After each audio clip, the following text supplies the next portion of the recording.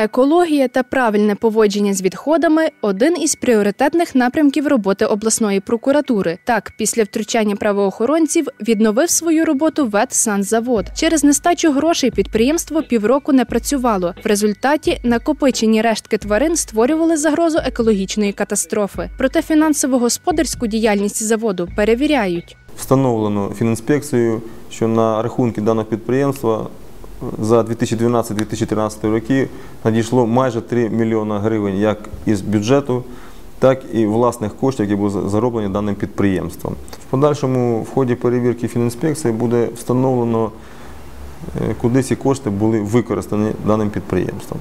Крім того, в ході перевірки прокуратури області було встановлено факт несплачі заробітної плати працівникам даного підприємства в сумі 200 тисяч гривень.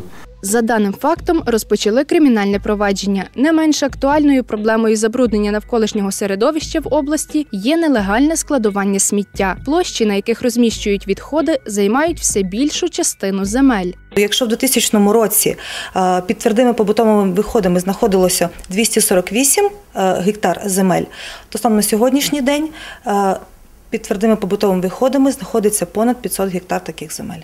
Значно розширилося Малашівецьке сміттєзвалище, куди вивозять відходи з обласного центру. Офіційно складувати там відходи почали у 1977-му, та через 10 років дозвіл закінчився, і досі сміття вивозять туди нелегально. За словами екологів, норми віддалення звалища від житлових будівель дотримані. Проте за 3 кілометри від сміття знаходиться верхньоівачівський водозабір, звідки отримують воду тернополяни. Встановлено, що це третя зона, то в третій зоні можливе е, існування сміттєзвалища. Е, Ну, ясно, з дотриманням е, його е, всіх норм, які передбачені законодавством щодо його експлуатації, е, проєктування, будівництва. Ну, це стосується, якщо би. Е, Треба було проєктувати і розміщати е, е, нове сміттєзвалище з усіма вимогами проєктними. Поки що Малашівецький смітник є об'єктом потенційної екологічної небезпеки. Тому прокуратура повсякчас звертає увагу Тернопільської міськради на дотримання норми в його експлуатації. Та крім розширення території, більше стає і самих сміттєзвалищ, причому незаконних. Лише впродовж минулого року органами санітарно-епідемічної служби виявлено понад 480 несанкціонованих звалищ відходів.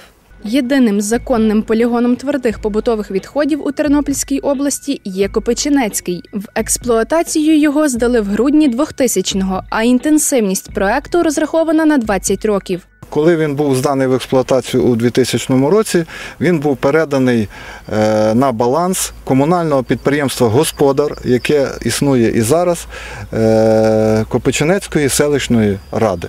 І дане комунальне підприємство несе відповідальність за експлуатацію даного об'єкту поводження з відходами.